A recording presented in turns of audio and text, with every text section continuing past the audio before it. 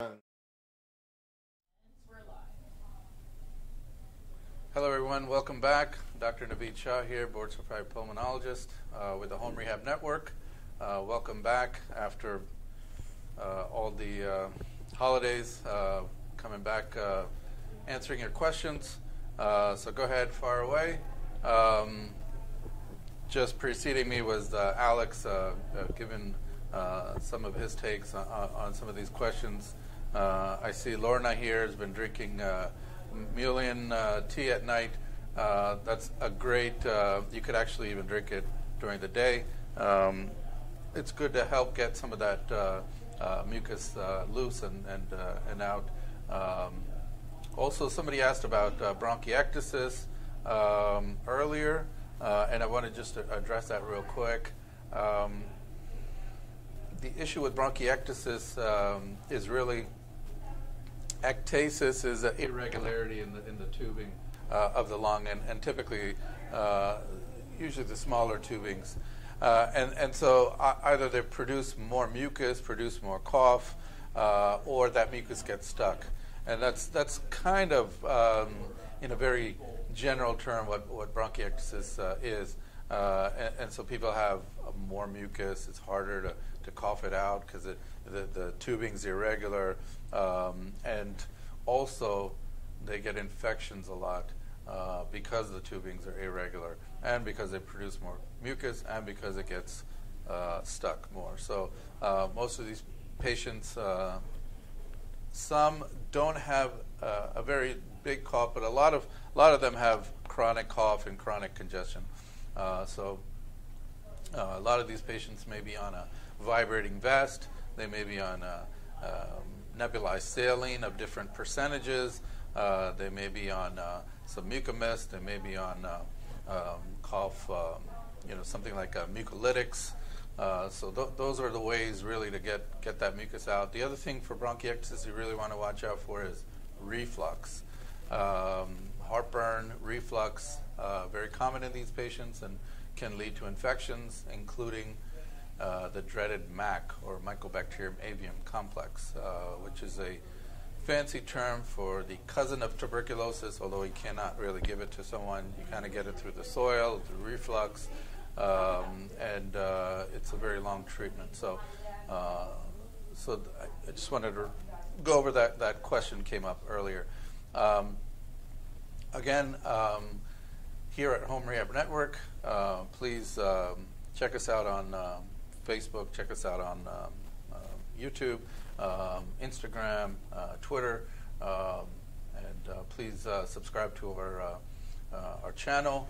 and also, we have the um, COPD group as well. Um, I want to also go over pulmonary rehab as far as you know here at Home Rehab Network. there's no driving, you, you, do it at, at, the comfort of your home uh, or anywhere. You can use a smart device, uh, laptop, computer, uh, phone, um, iPad. Uh, any of those devices work. Uh, we've had people in their tugboats. We've had people in their um, trailers. Um, you know, going from uh, snowbirds going from the north all the way to the south. They've been doing it uh, as they're traveling. Uh, so, I mean, th- there's really uh, no place that you, you couldn't do it. Um, and if you don't have internet access, uh, we can also help you with uh, non-internet access um, uh, through the the phone link. So um, there's really no excuse. Now, again, no travel as far as getting to a place three times a week. I know some of the patients I see uh, they told me, well, I, I found you guys on, our, uh, on my own, um, but my physician had recommended pulmonary rehab, and it, it, was just too far away 40 miles away, 60 miles away. Um, so let your physician know that, that we are here. We're here to help their patients.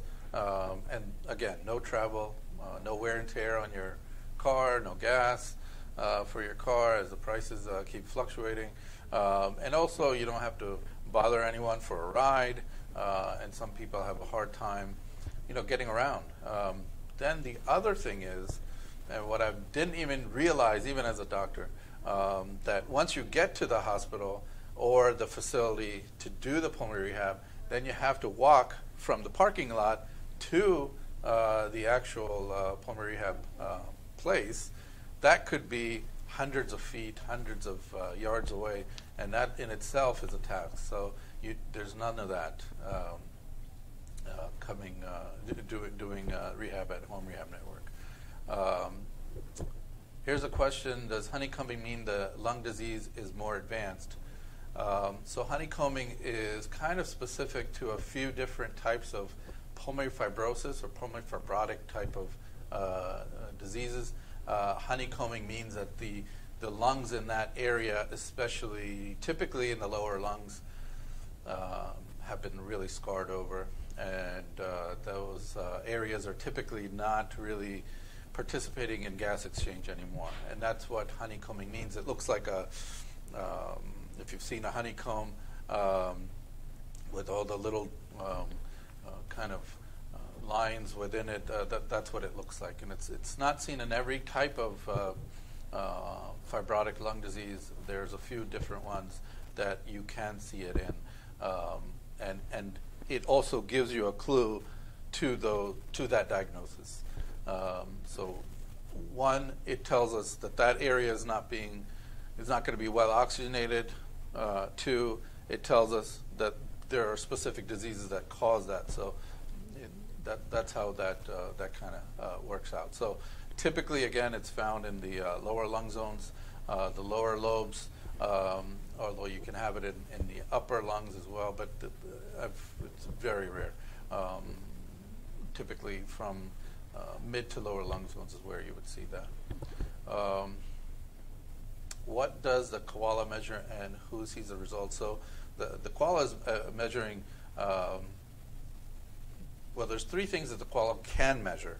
Typically, is measuring uh, two lead EKG, uh, and uh, the koala people, meaning this is a third party, um, and so we use it um, uh, to monitor patients, but uh, the, the, the, they have their own people who are actually monitoring it, and then they will send us alerts if there's any issues uh, and I've gotten many of those alerts. Uh, the other two things that the Koala can do is uh, it can actually listen to heart sounds or lung sounds, um, and uh, that's also transmitted onto the uh, to the website. So uh, those are the three main components for the Koala, um, and um, the they have their own people that are actually monitoring it. we actually look at it if there's any alerts as far as the EKG uh, alerts are concerned. Um, if there's, if you have a follow-up with me, if you'd like to go over Koala um, as far as um, sounds, uh, we can do that uh, anytime when uh, when you see me. So um, we can go over any kind of abnormal sounds that you're hearing, um, and and so that that's what the uh, Koala would be for. Um, so again, the other uh, the other issue that, that I see a lot of is that, um, um, and I hope that that answers your question. Um, the, the, the, going back to kind of the the, rehab, um, uh, again, no travel, and then getting to the, the the hospital, and then you have to this long walk getting there, and it's like, well, I'm kind of pooped out now. I, I couldn't even make it. I had to stop three four times. Again, none of that with the Home Rehab Network uh, and, and, let your physician know, um, you know, those are really great benefits uh, of this, um, you know, of this program. Obviously, uh, there's a lot of other benefits as well. Uh, I got pneumonia a couple years ago, and I've had uh, worsened breathing and a rattling cough off and off ever since. PFT doesn't show any significant damage. Echo is normal. Uh, is there anything I can do to get rid of this cough? Uh, keep me keep my airways clear and improve my breathing. So, um, a lot of times, depending on uh, the pneumonia, uh, you're saying a couple years. Um, typically, though, you'll see that for a few weeks, sometimes a few months. In the COVID uh, sense, you can see that for over a year.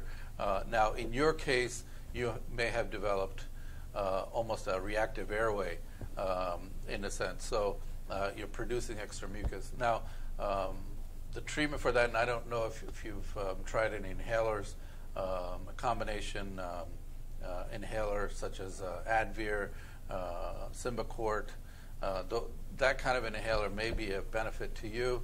Um, if you're having recurrent episodes of bronchitis, uh, then what you want to do is make sure that somebody has sampled uh, your uh, your mucus, uh, uh, meaning they've cultured it, to make sure that you're not recurrently getting um, infected with the same thing. So th- those are the two things that I would I would try first. If the mucus has no culture, meaning it's normal flora, and the inhaler is not working, then um, you could try cough suppressants. Uh, you could try uh, mucolytics. Uh, so those that would be the, the next step. Um, again, um, whatever I say, please go through with your regular doctor. These are just advices um, th- that I'm giving. Uh, please make sure that you discuss everything with your uh, with your pulmonologist or your regular doctor. Uh, what this actually means, spirometry shows severe obstruction with borderline bronchodilatory response uh, significant air trapping, um, and decrease in diffusion capacity. So when you go through the, the, the PFTs or the, uh, the uh, pulmonary function testing, um, severe obstruction is the, the, the, first part of it is the spirometry, and that, that's where you use you would uh, look for obstruction, whether it's none, mild, moderate, or severe, uh, or very severe. Uh, and that, that's what that first section is going to tell you.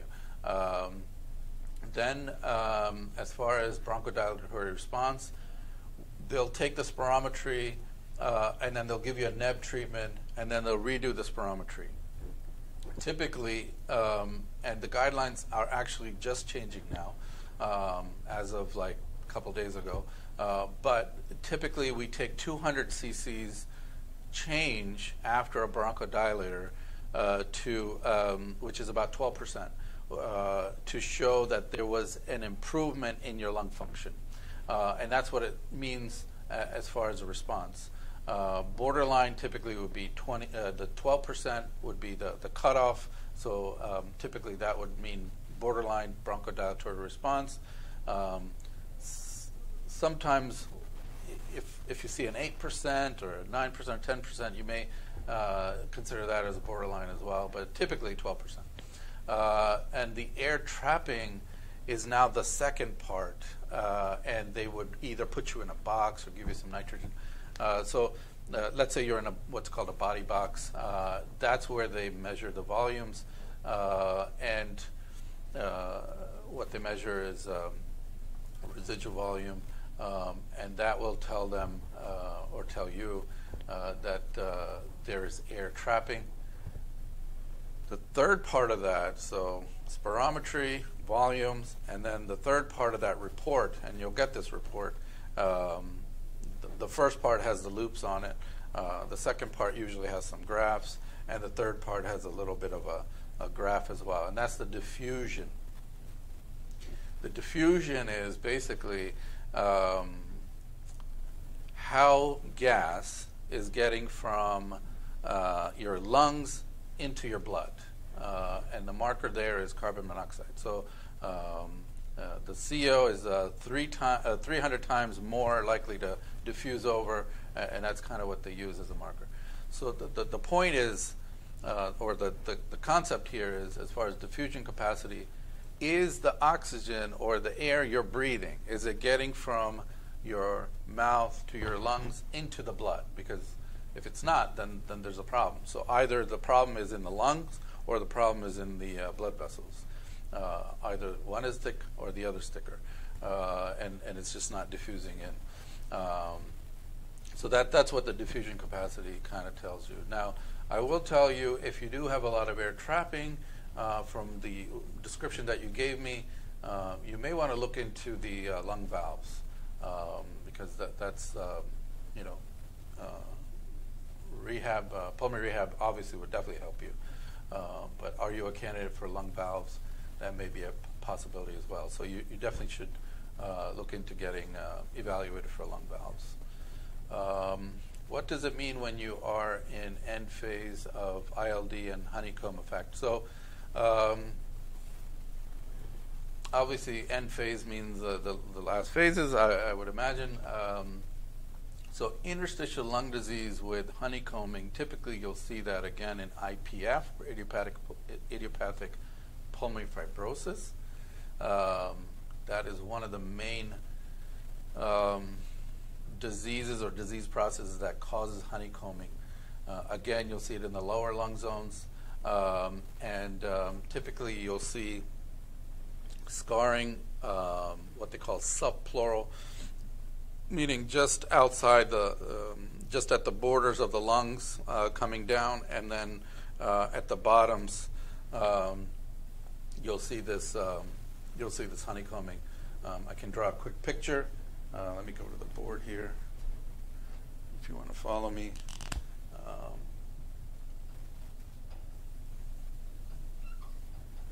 uh, so typically for uh, IPF, uh, you'll start seeing um, some scarring. This is the scarring that, that you'll see. It'll be right on the borders.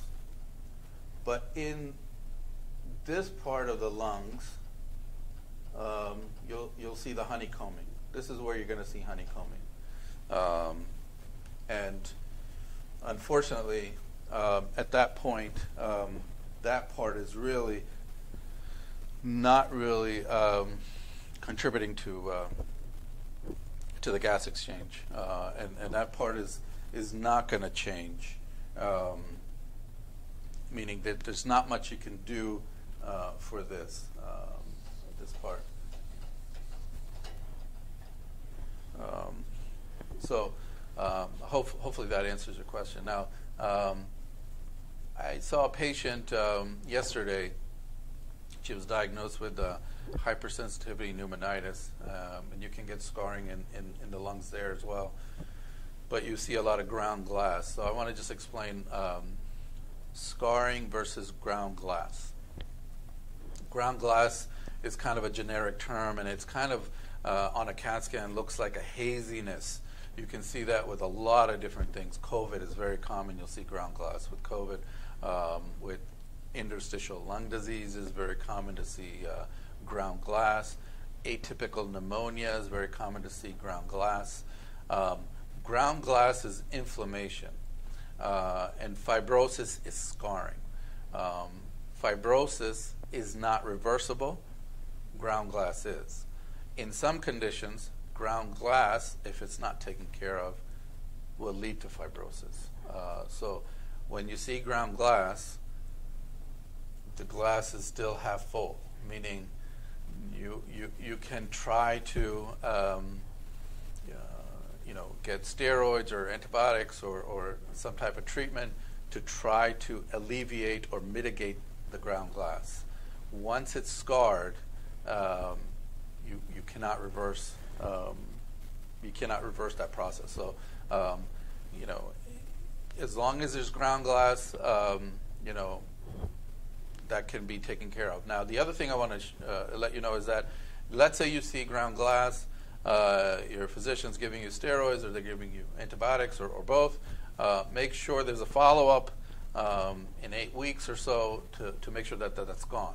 Uh, if it's not gone, you know, then we have to look at what, what, what's, what's missing, what, what are we missing here? So uh, make sure that that's uh, being followed up. Um, if they say your lungs are worse in bottom than top, does that mean anything different than top to bottom? Um, so if you're, so usually your lungs are worse from bottom, uh, start at the bottom, uh, and not typically at the top. Um, certain, uh, so tuberculosis is one of them that'll be more top, um, top down, uh, rather than most of the other ones will be from the bottom up. So it, it really doesn't matter. Just know that mostly it's going to be bottom up, most for the most part. Uh, doctor said PFT shows my friend with asthma is having trouble expelling all of the air, but no issues with intake. Can a lung exercise be helpful?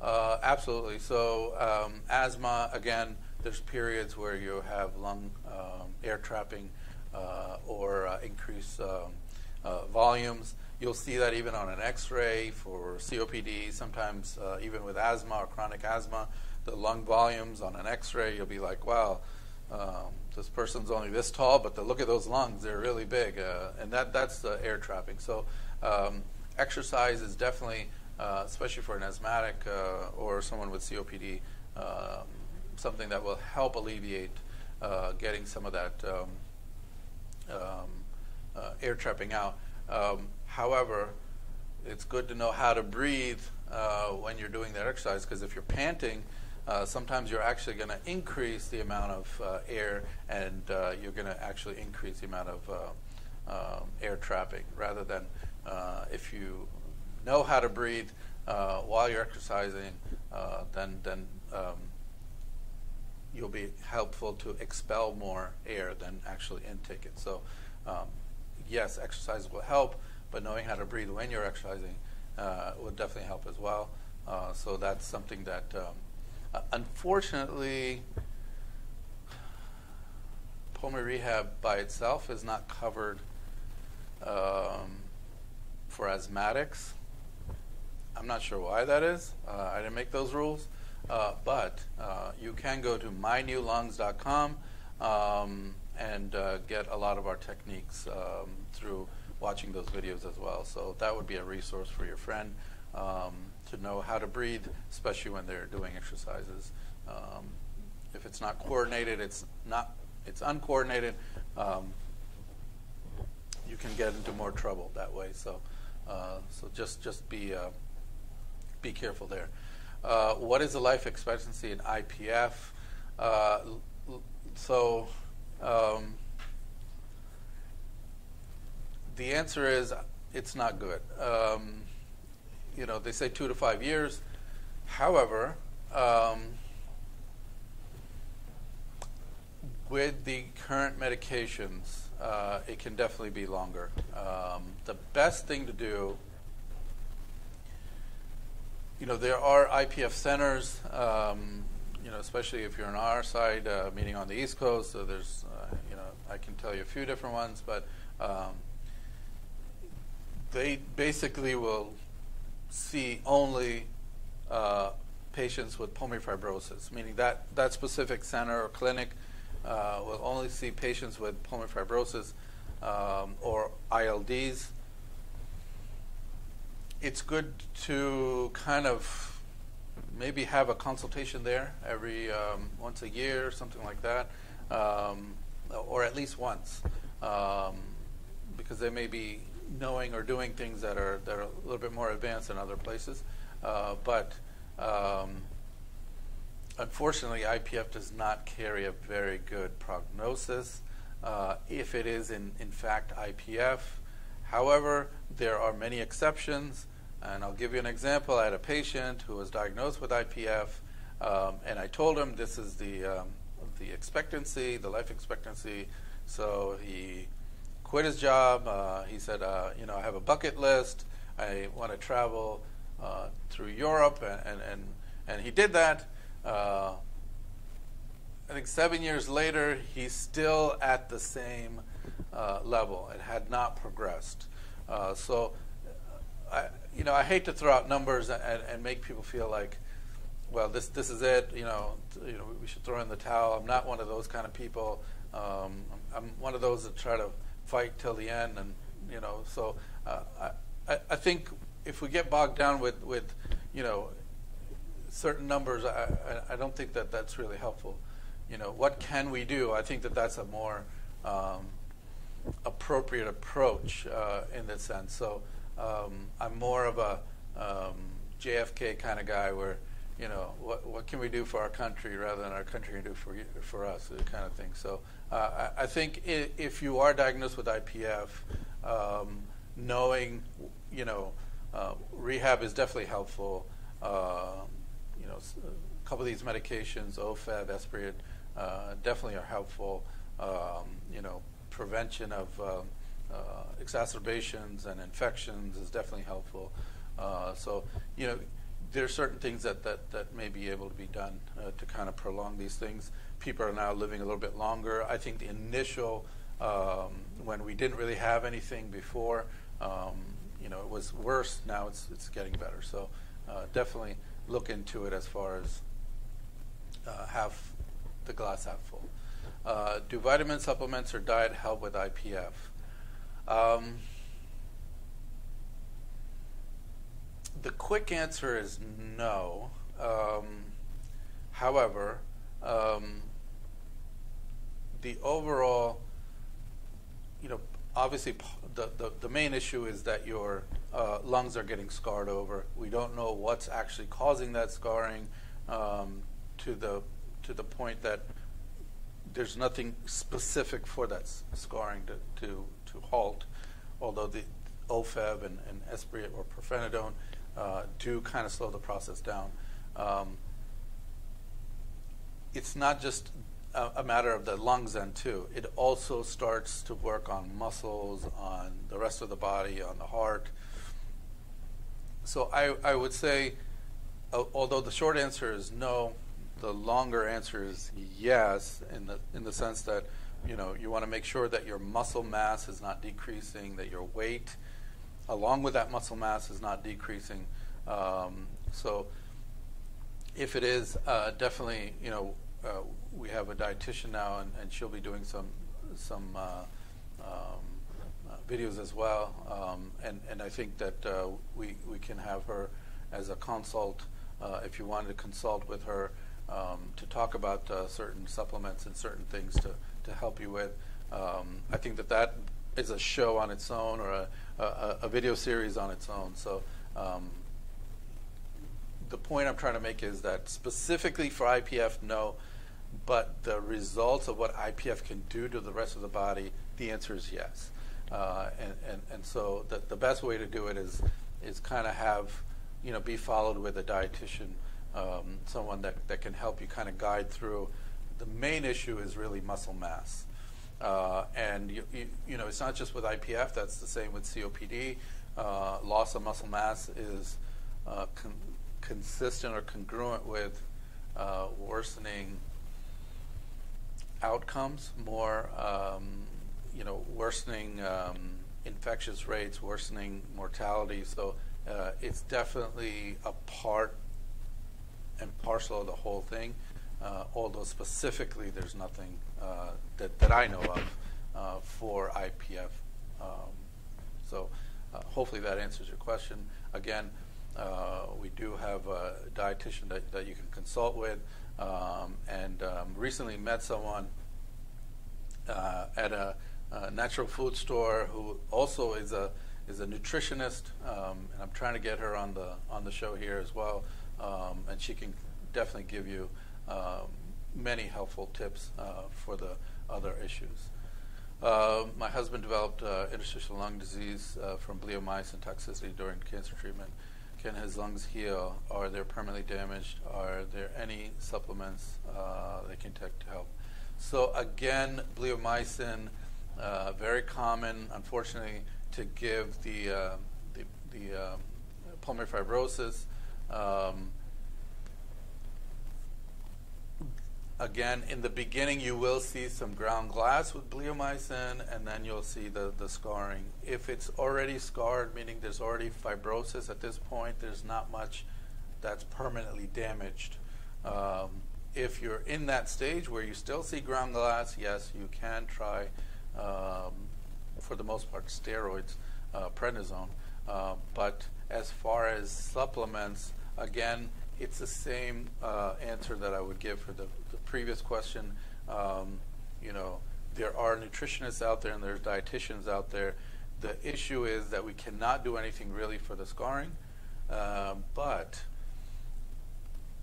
typically bleomycin uh, a little bit different than IPF in the sense that IPF is progressive, bleomycin is typically not progressive. Uh, it's whatever is scarred over at that point. Um, so that's kind of slight differences in, in trajectory and, and prognosis. Um, again, the issue is what are the other organ systems? How are they responding? Muscle mass, um, you know, heart, pulmonary hypertension, those kind of things. Can we prevent those? Uh, and I think that, that that's the other uh, part of this. So um, again, it's the same kind of answer for the IPF where nothing specific, but uh, look at other body uh, organ systems. So, um, how is hypersensitivity pneumonitis ruled out? Uh, good question. So, uh, one of the ways is, you know, hypersensitivity pneumonitis is basically pneumonitis meaning inflammation, or that's the itis, pneumo being the lungs. Um, hypersensitive, again, it's an allergic type of reaction. Um, so I just saw someone um, uh, yesterday. Uh, she was diagnosed with hypersensitive pneumonitis. One of the ways is there's a panel. There's actually two panels, probably a couple, um, maybe even more than that, uh, that have different uh, what we call antigens.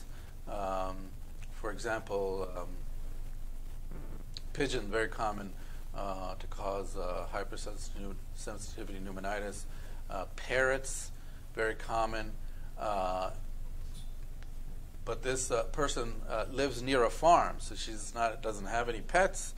there's no bats in her attic. There's no like pigeons there.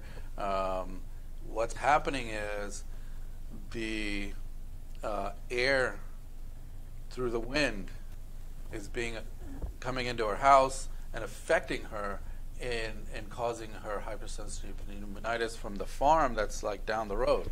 Uh, and so that's kind of how she's getting it. Uh, you can do bronchoscopy. Uh, there are things called um, granulomas you can see. Um, and there's certain patterns for uh, hypersensitivity pneumonitis as well.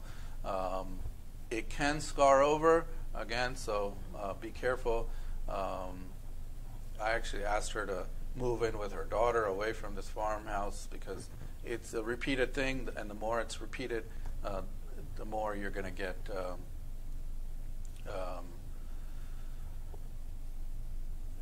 you know, the, the, the scarring may become more apparent uh, because the more you're exposed to it, the more it's going to cause problems with your lungs, and, and the worse it's going to be. So, um, hopefully that answers your question. Uh, when taking an immunosuppressant, CellCept, should try to avoid going to church, uh, stores, restaurants, etc. Um, so the short answer is um, probably. Uh, however, um, I'm also a person that would never want to sit in my house and do nothing. Uh, you definitely have to get out and about. Uh, so you know, you can wear a mask if you if you're able to tolerate it. Uh, sit at a distance uh, if you can, uh, but don't take yourself out of life. Right? I mean that that's not the point. So uh, you can modify or mitigate risks uh, by maybe being there in certain times where it's not as much of a, a, crowd. Um, you know, off hours or in the mornings. Um, you know, sit away from other people, uh, be away from others, or, or, or, wear a mask. But uh, definitely don't um, uh, don't choose to sit sit in your house and, and, and you know not go out. Uh, not only there's there's a psychological benefit of, of being out, you know, being um, especially on nice days, the sun itself actually has a very good psychological benefit. So, and obviously you're making vitamin D, and that in itself will give you improve your uh, your mood. Uh, so, definitely don't lock yourself in. Uh, get out and, and do stuff. Uh, please speak to nodules that grow and shrink. Thank you. Uh, so, when you see a lung nodule, when I see a lung nodule, or somebody is referring a patient to me, um, and I see a lung nodule, um, many times I can say, this is nothing. Many times I can say, I don't know. Um, most of the times I'll say, we'll have to follow it. Uh, so uh, typically, if it's over 8 millimeters, you can get what's called a PET scan, P-E-T, PET scan. Uh, if it's below 8 millimeters, you can't get a PET scan. And typically below 8 millimeters, uh, you're just going to watch it there are um, there are sometimes you'll see one nodule, sometimes you'll see a couple of nodules, and sometimes you see multiple nodules. if you see multiple nodules, typically that means it's an inflammatory process or a metastatic process. So those are the two typical scenarios with multiple nodules. For the most part, it's inflammatory, and those will come and go. If you have a condition, let's say you have lupus or you have scleroderma, uh, Sjogren's, uh, rheumatoid arthritis, rheumatoid arthritis is very common to have uh, lung nodules, um, and those are and typically inflammatory, um, and and they will come and go. Typically, it'll take six months to a year, maybe longer, for them to come and go. The other thing that happens over time, if it's a benign nodule, typically over time it'll start accumulating calcium, and it'll show up like a um, almost the same um, brightness or whiteness on an X-ray or CAT scan as a bone. Uh, that means that's basically healed, um, and the body's taking care of it, and you don't really have to worry about that. Um, so, um, number one, lung nodule. Let's say you have one. Um, it's less than eight millimeters. We'll watch it. More than eight millimeters. PET scan. Even if it's uh, greater than eight millimeters, uh, then then PET scan plus or minus biopsy. Um, and if PET scan is positive and there's reason for concern, especially if it's growing or changing sizes or it's irregular, then they may opt to do surgery uh, and take it out. Again, surgery for stage one uh, lung cancer um, is typically the way to go, um, and it has the best cure rates, meaning typically it's around 65% uh, cure rate uh, for stage 1A uh, lung cancer. So uh, hopefully that answers your questions. What are the risks for having a HRCT? Uh, HRCT is high resolution CAT scan, uh, and so uh, when they when they do it, they do it in a way that the the cuts through the the chest are, are very very small, um, and um, the risk is really you're getting a little bit more radiation. So there's regular CAT scans, there's low dose CAT scans, there's high resolution CAT scans, or the typical three CAT scans that, that you may encounter. Low dose is typically for cancer surveillance. Uh, let's say you've smoked for a period of time, uh, and uh, now we're, we're, wanting to make sure that we don't miss any cancers. Uh, typically, once a year, you'll do a low dose CAT scan. Low dose meaning less radiation. Uh, then there's the, the typical um, uh, CAT scans that we will do um, for lung nodules or, or, a lot of other things. And then the high resolution, um, more radiation. Uh, so that's really the risk. But in certain cases, for example, uh, interstitial lung disease, IPF, uh, high resolution CAT scans are really the way to go. Um, looking for blood clots is a type of high resolution CAT scan as well. Uh, but for the most part, most CAT scans are general CAT scans that you'll have in a hospital. Let's say you're hospitalized. Uh, typically, those are not high resolution. Those are um, regular resolution uh, CAT scans. Um, unless it's for blood clots, then it is a higher resolution CAT scan. Uh, but beyond the radiation, um, I don't think there's any other risks. Now, if they're giving you dye, uh, especially if they're looking for blood clots. Then there's a risk for the kidneys, uh, and so typically they would want uh, your blood work for your kidney function before they do that dye test. If the kidney function is fine, um, then after you get the dye, drink some fluids, uh, get that dye out, uh, you should be fine. How can you use a pulse ox when you have cold uh, bluish fingers for Raynaud's? Oh, that's a great question. You can't really use it at that point. Uh, you have to wait uh, either um, uh, before or after the Raynaud's episodes kind of subsides. So, um, so the answer is yeah, you can't use it. you, you have to kind of wait. So typically, Raynaud's comes, as you know, um, if you're out in the cold and even if it's a slight change in uh, temperature, some people get uh, Raynaud's. You have to wait until it's it's kind of over uh, before you, uh, you, you do it. Um, I heard red light therapy helps COPD. Have you heard of this? Um, so I haven't heard of that specific. Uh, I know there's light therapy that will help COVID, uh, but it's not red light, it's uh, regular light. So um, I cannot uh, really talk to you about red light therapy. Uh, unfortunately, I can't answer that question. Um, and I will say, if I can't answer the question, I'll say I can't answer the question. I'm not going to give you any kind of, um, you know, uh, something that I don't know. Very good questions, though. Thank you. Um, uh, any other questions? You know, put them in the comments. Again, Home Rehab Network. We do online pulmonary cardiac rehab. Uh, we're on uh, Facebook. We're on um, uh, YouTube. Uh, we're on Twitter. So check us out in these. Uh, check us out definitely on YouTube and subscribe to our channel. Um, we'd love to share more and more content and videos with you. I heard that a person can have asthma attack but still show normal blood levels on a pulse ox. Is that true?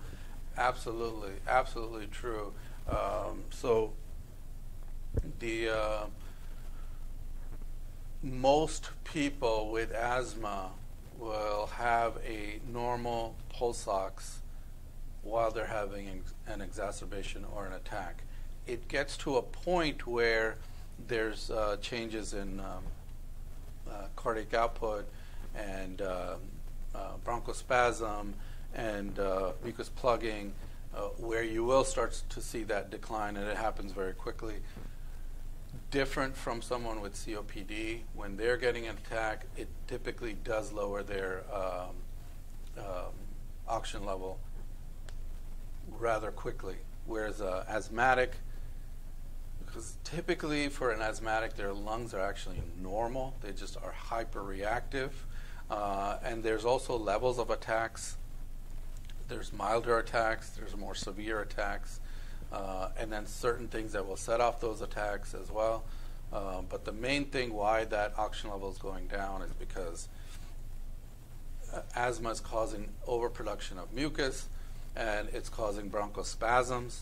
Uh, and so there's a hindrance of air getting to the alveoli, um, and also there's dynamic changes as far as vascular changes, um, as far as cardiac output and stuff. So uh, those are the things that really uh, affect uh, the um, uh, the oxygen levels. Just having pneumonia when you're a child help cause COPD. Uh, not COPD, but asthma. Yes, that is definitely uh, in the in the uh, uh research and in the literature.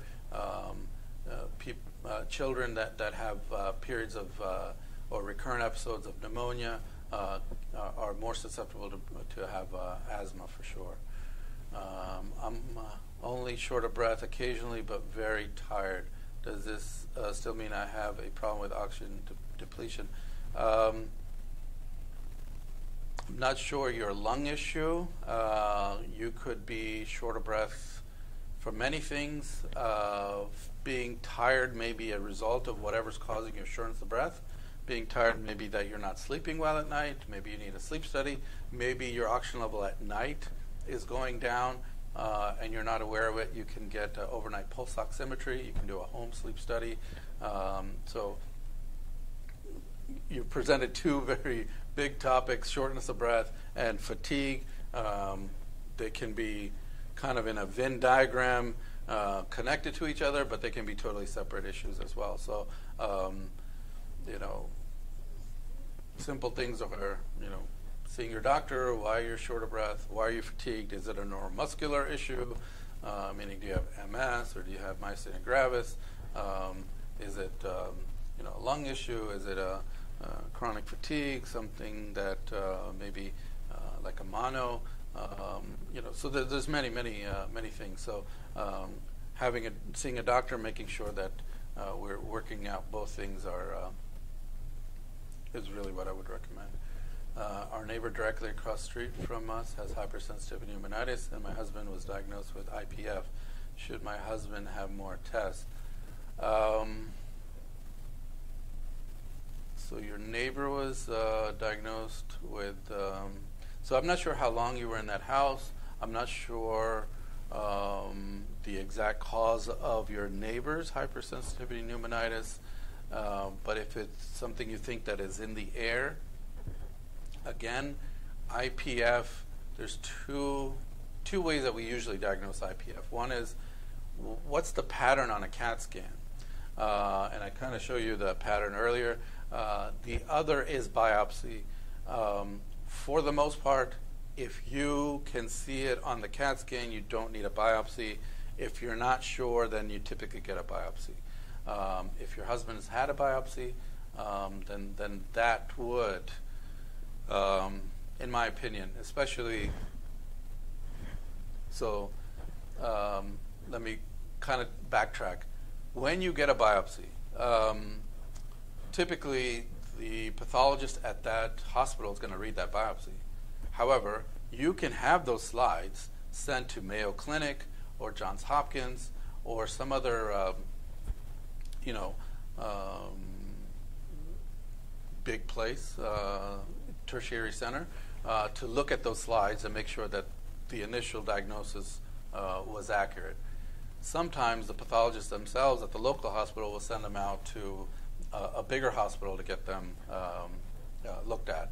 So if if that's already been done uh, and they've diagnosed you biopsy-wise with IPF, then it's typically IPF, and it's typically not hypersensitivity pneumonitis. Now, on a CAT scan, um, it may be different. So if they're saying that because the CAT scan looks like a pattern of IPF, could it be hypersensitive pneumonitis? Or is it IPF?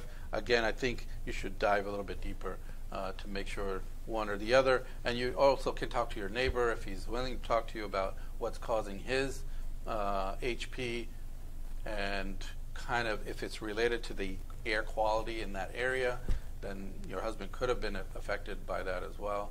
Um, again, um, history, um, imaging, testing, uh, all of this uh, can differentiate HP from IPF. Um, so, and the trajectory is different. IPF prognosis versus HP prognosis.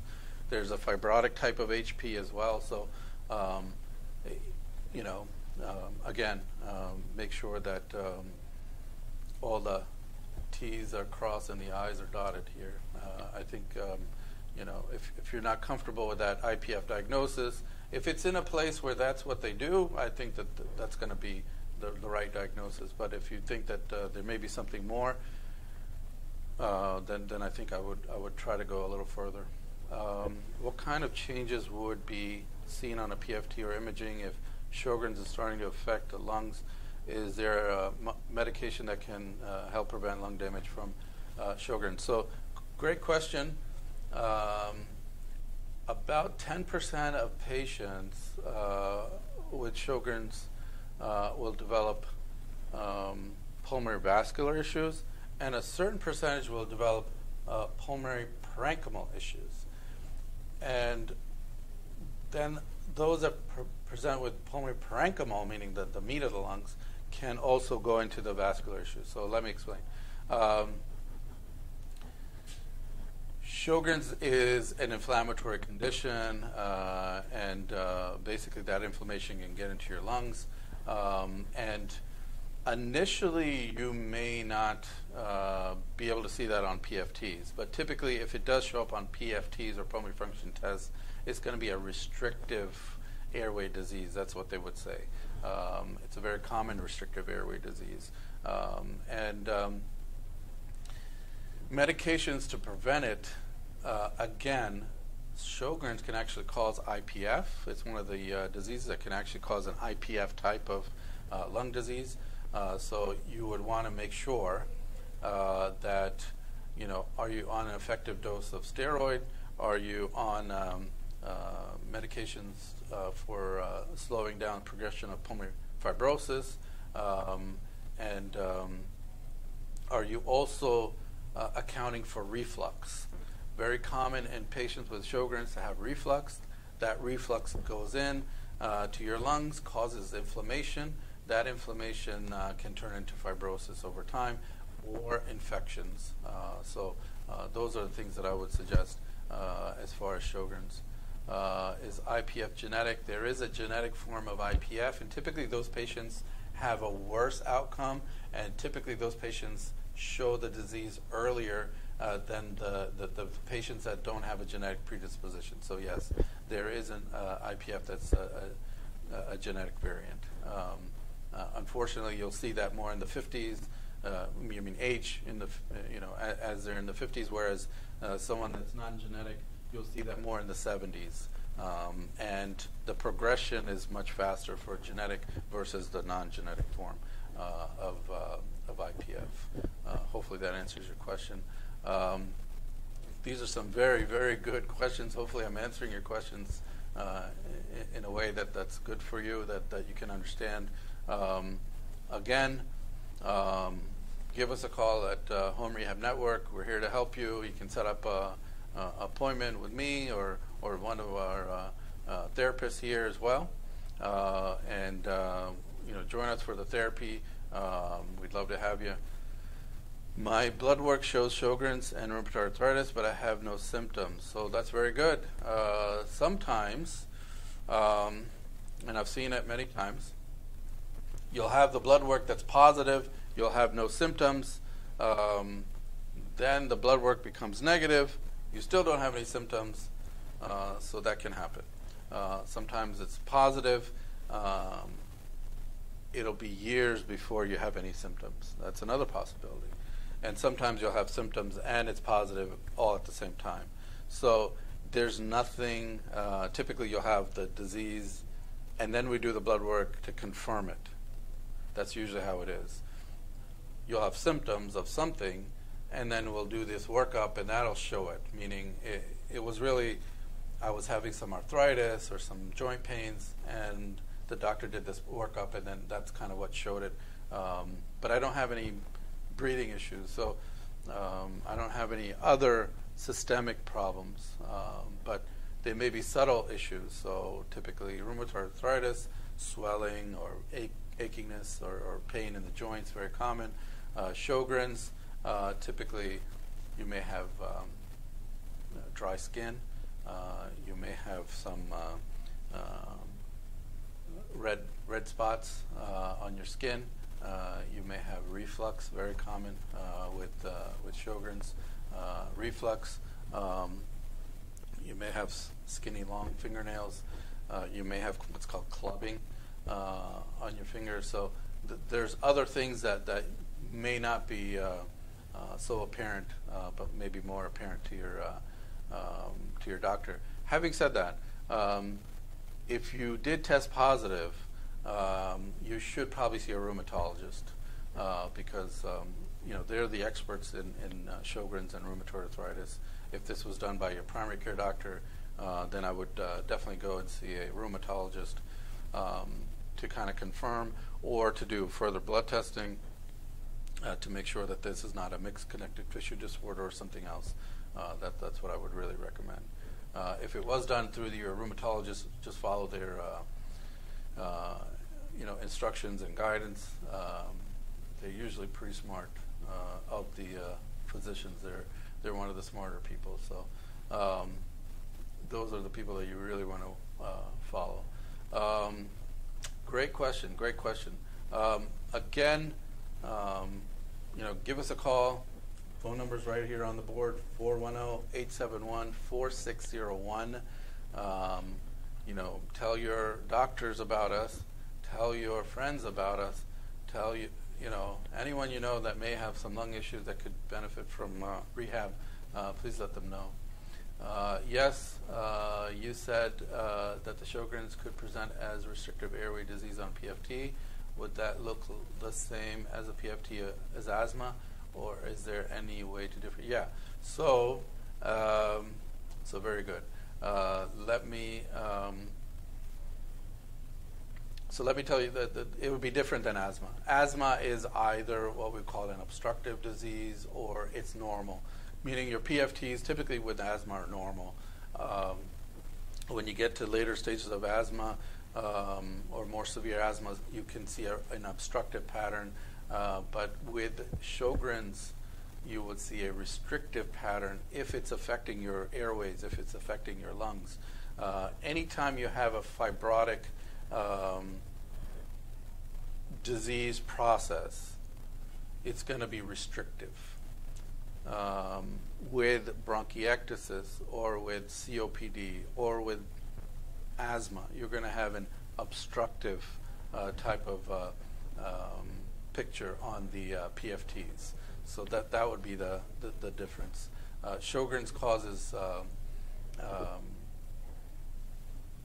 scarring in the lungs. That, that's really where, and that, that's what relates to the uh, restrictive airway disease. Uh, Sjogren also uh, causes pulmonary hypertension uh, or high blood pressure between the heart and lungs. So, um, if you've been diagnosed with uh, Sjogren's and there's no scarring in your lungs, but you're short of breath, make sure you get an echocardiogram because uh, that's a preliminary test for um, pulmonary hypertension.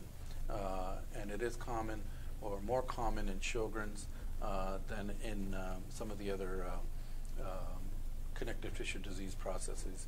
Uh, less common, although possible in lupus as well, um, and less common, although possible in uh, rheumatoid arthritis. But Sjogren's, uh, about 10% of patients will develop pulmonary hypertension.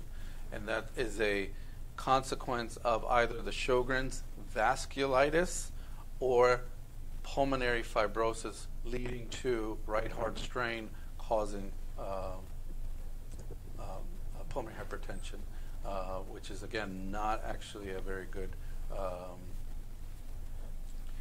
not actually a very good thing to have. So make sure that that's being looked at. Make sure you're getting um, annual or less than annual uh, uh, uh,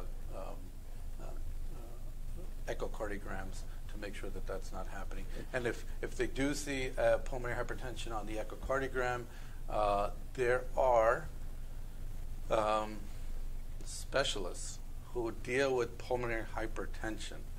Um, and the reason I stress a lot of specialists is because there are specific things that that um, you know. You know, it's like a general contractor versus someone that just does windows. Somebody just does this. You know, that's all they kind of do. Uh, they're more adept at that that specific thing. So uh, I, I always tend to, if you have a special issue, you should go to a special person for that issue. Uh, what kind of changes to the lungs do you see from chronic radon exposure? Typically, for chronic radon exposure, you actually not see any lung changes. Uh, radon typically, um, uh, at the doses that we normally see, does not really cause any lung issues. Uh, but it is one of the uh, probably the second, I believe, uh, causes leading causes of lung cancer. so that that's kind of what you might see: lung nodules, or a lung mass, um, and you've never smoked before, uh, again, what I would highly suggest, and I would suggest this for everyone, uh, if you do have a basement, um, definitely get uh, get it checked for radon. Uh, again, radon is very common um, for uh, lung cancer. Now, having said that, some people may have a long island in their um, kitchen or a lot of nice uh, granite countertops. Uh, they look nice, uh, but make sure they're not giving off a lot of radon because they may be mined in an area where there's a lot of radon. They can also be causing some radon as well. So make sure that the radon in your house is being checked, especially if you have a basement. Um, and especially if you live in, in anywhere around Maryland, uh, there's a lot of radon in uh, in Maryland, uh, so make sure that's being checked. Uh, very good question, though. Um, again, um, if you've smoked and you have a lot of radon, uh, then um, the low dose CAT scans uh, once a year uh, should be done, and uh, that you can do through your pulmonologist. Again, whatever I'm saying here, please confirm with your pulmonologist, your primary care physician, or any of the other physicians that you normally see. Um, because we're just giving advice here, um, and uh, um, you know we don't want to take this out of context. Um, and again, I want to make sure that um, um, everyone you know give us a call again. See us on uh, Facebook, see us on uh, YouTube, uh, subscribe to our channel. Um, you know, we want to give you the best uh, um, advice that, that, that we can, and we want to help you out with your uh, rehab needs as well. You know, tell a friend, uh, tell your doctors, let people know we're here. We're here to help. Thank you very much, and I'll see you in a couple weeks. Thank you.